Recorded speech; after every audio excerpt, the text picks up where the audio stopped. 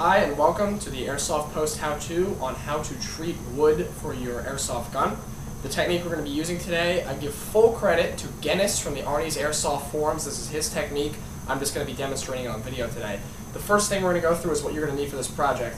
You're going to need a paper towel or shop rag, paper plates, preferably pink with a floral pattern, boiled linseed oil, a screwdriver, or some other item in which you can, which you can make uh, gouges in wood with. You're going to need two foam paint brushes. I like to have a smaller one and a larger one. You're going to need uh, acrylic latex paint. Black is the most important color, but it's also good to have some brown on hand just so you can mix them. You're going to need two sanding blocks, one fine grain and one medium grain. Uh, so now let's take a look at the gun we're going to be working on today.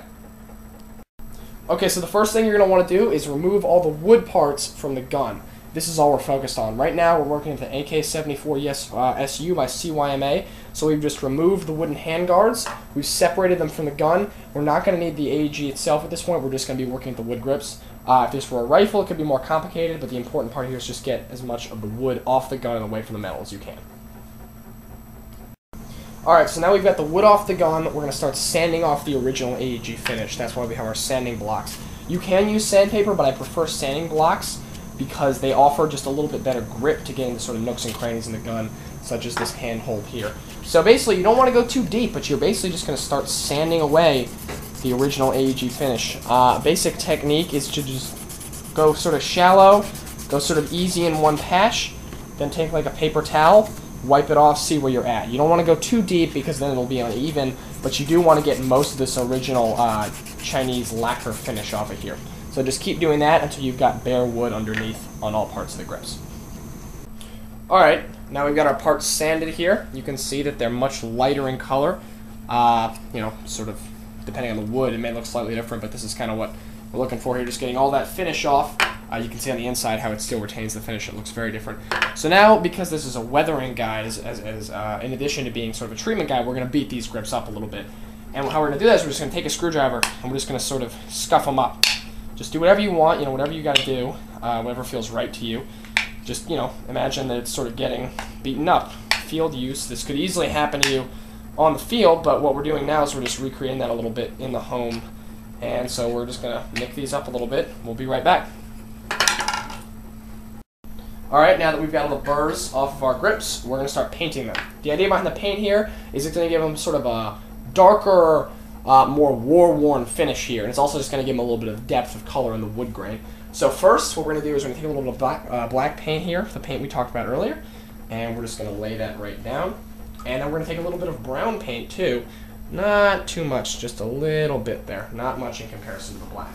And then we're going to take a little bit of water. We're actually going to water this down just a tiny bit. The more water you use, the lighter it's going to be. So we're just going to, a little bit of water right on top there. All right. And then basically, we're just going to start mixing it up here on our paper plate. And then once we've got, see now this is almost black, but it's got a little bit of that brown, and it's a little bit runny because of the water. And then basically, you're just going to start taking your grips, and you're just going to start laying this down. You're going to just streak it on. And it's, what it's going to do is it's going to get into the wood grain, and it's going to set there a little bit, and that's going to give you a darker, richer finish than you had before, which is ultimately going to cause your gun to look more war-worn, a little bit of a veteran look. It's going to look very nice. And you don't want to put on too much paint here, because what you're eventually going to do is actually wiping most of this paint off. But right now, as you can see, this paint is sort of setting into the grain. The, the wood is actually drinking up the paint in a way. So basically, after we're done with this, we're just going to start wiping it off with a paper towel. So you just grab a paper towel from over here and you just wipe. You wipe it off. And you know, it, it's wiping here, but as you can see, the wood is getting darker. It's starting to look a little bit more like it's finished. So we're just going to keep doing that till we get the desired tone we want, and then we're going to come back, we're to start throwing down some oils. Alright, so our grips have dried off from the paint. We gave them about half an hour to an hour. Uh, there's not much paint on here, so it's really not going to take that much time.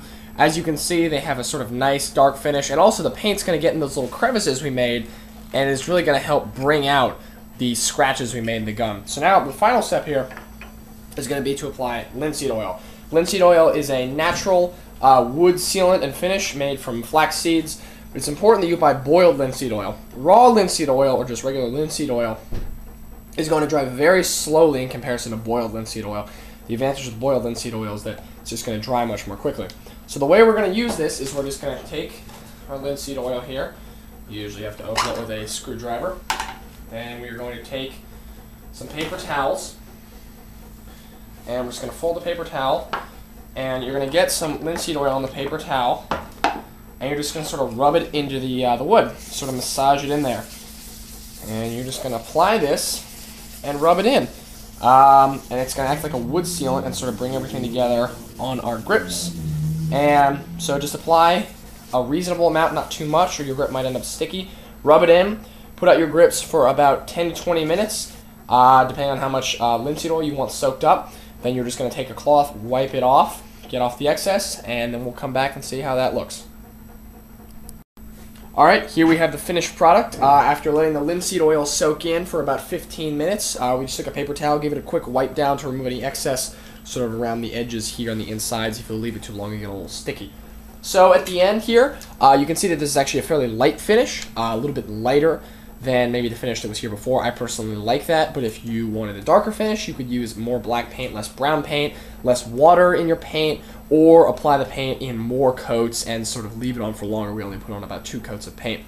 Uh, the basic idea here is that you can sort of customize this to make it the way you want it. And this is just one of many ways to sort of give your gun a little bit of a personal, rugged, individualized look.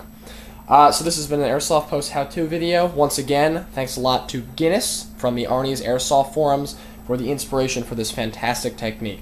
Thanks for watching.